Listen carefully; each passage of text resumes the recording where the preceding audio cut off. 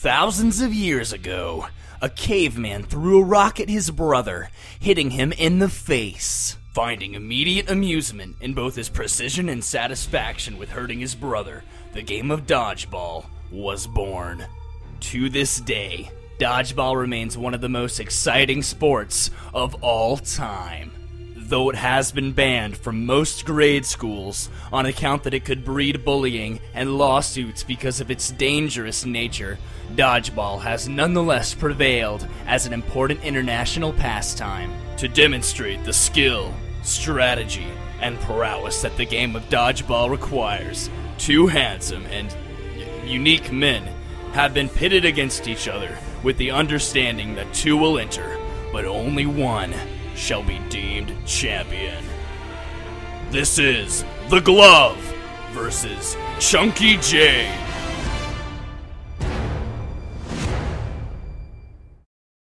Hi, they call me the glove, and you know what they say no gloving, no loving. My name's Chunky J, and I'm gonna own that noob. Yeah! I was born on a small farm in Idaho to a family of 23. I'm the youngest of all the children, and I feel special. I was born and raised by gorillas in Africa. My favorite book is The Foot Book by Dr. Seuss, and I can count to over 9,000!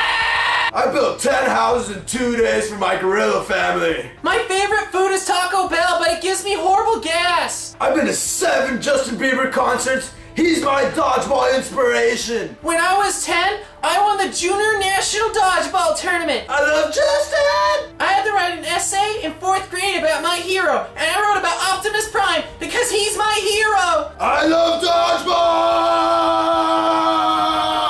Ah! I'm gonna destroy Chucky J tonight, and I'm gonna throw a ball so fast it knocks his face off, and he won't have a face, he won't be able to eat cereal. I'm gonna take the glove, put him on, take him off, and rip him in half!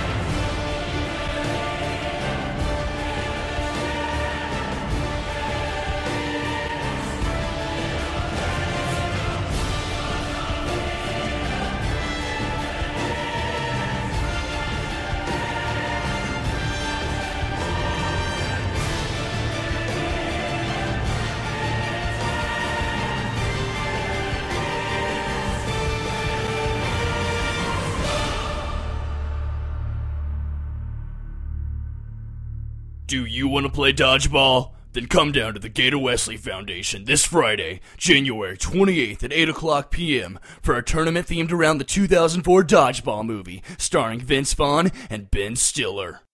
Be there or be square.